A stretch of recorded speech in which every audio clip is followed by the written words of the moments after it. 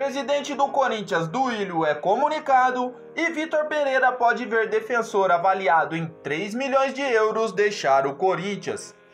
Fala galera, seja bem-vindo a mais um vídeo, já vai deixando o seu like e se inscreva no canal Copa Futebol News, porque aqui você encontra as melhores notícias do mundo do futebol. O Corinthians, ao lado de Flamengo e Palmeiras, vem agitando a janela de transferência nessa temporada. Depois de contratar Yuri Alberto e o zagueiro Balbuena, o Timão confirmou que já inscreveu no BID, Boletim Informativo Diário da CBF, o volante Fausto Vera, ex-argentino Júnior. O atleta já poderá ficar à disposição de Vitor Pereira para os confrontos da Copa do Brasil diante de Atlético Goianiense e também na Libertadores, onde o Alvinegro irá duelar contra o Flamengo por uma vaga na semifinal. Porém, se há chegada, podem ter saídas. Com alguns problemas financeiros, Duílio Monteiro Alves admite que se chegar alguma proposta por algum titular que agrade a diretoria, o Timão irá liberar o atleta desde que o mesmo deseje sair.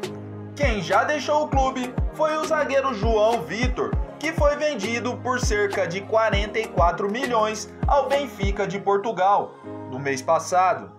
Agora, outro defensor da equipe de Vitor Pereira pode parar no futebol europeu. Trata-se de Raul Gustavo.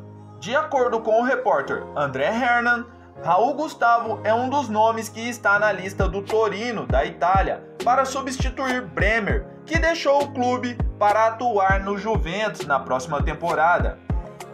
Ainda de acordo com o repórter, Duílio Monteiro Alves já está ciente que uma proposta deve chegar pelo atleta nos próximos dias. Segundo o portal Transfer Market, o defensor está avaliado em 3 milhões de euros. Caso perca Raul Gustavo para o futebol italiano, o Timão terá como opção para o sistema defensivo os zagueiros Bruno Mendes, Balbuena como titulares, além de Gil e Robson Bambu como opção na reserva. Como não tem um elenco tão numeroso, não está descartado que o clube volte ao mercado para trazer mais um defensor. E aí, pessoal, o que vocês acham? O Corinthians deve aceitar essa proposta de 3 milhões de euros por Raul Gustavo? Deixe a sua opinião nos comentários porque ela é muito importante para nós. E até o próximo vídeo.